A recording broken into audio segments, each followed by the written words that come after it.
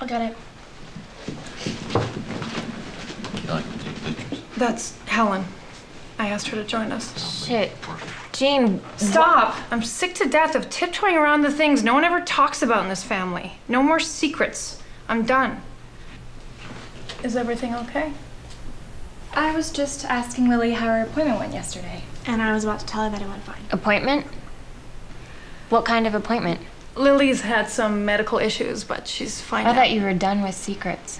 What do you call that? Shit, Terry, you walk in here after two years without a word. I sent postcards. Three postcards in two years. That's all. I'm bipolar, Aunt Terry. But I'm doing okay now. I have medication, and I saw my therapist yesterday. That's what Aunt Helen was asking about. Oh.